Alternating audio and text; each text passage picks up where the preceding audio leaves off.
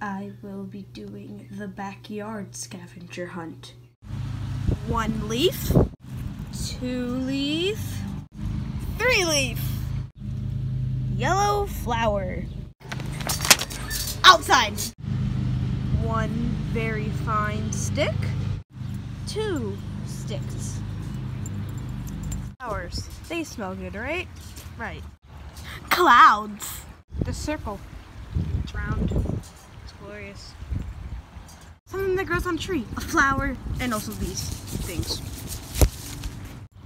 Grass. Well, birds don't like our neighborhood, so. Birds. One rock. Two rock. Three rock. It's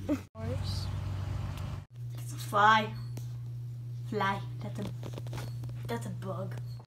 I used outside in this video. It's a great place.